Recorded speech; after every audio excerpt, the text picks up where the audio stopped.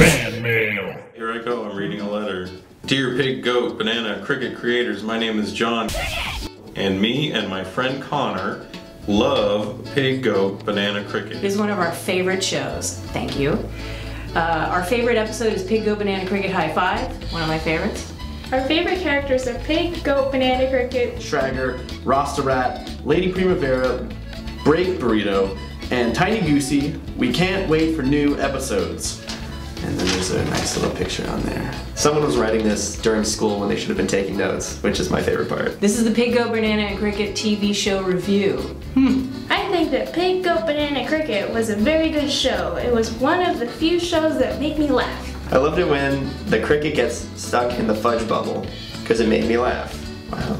The goat reminded me of Caitlin. The banana reminded me of Paige. The pig reminded me of Sarah, and the cricket reminded me of me. Your show is the best, and so are you. I rate you guys 10 out of 10 with a little smiley face.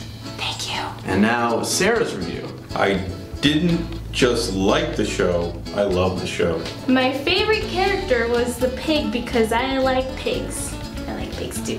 My friend Caitlin drew some of the characters on the back. Could you please add a monkey character? Please for Sophie. There it is, and obviously an original drawing of a monkey there. I'm the character designer, but she's gonna take my job pretty soon. Sophie the monkey on Pig Goat Banana Cricket. Think about it.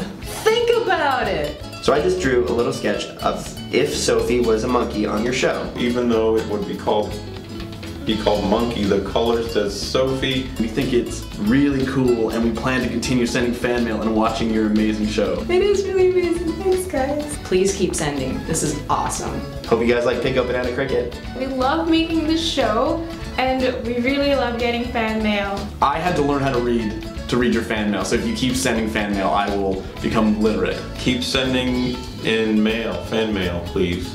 Thank you. Big, big, big, big, big, big.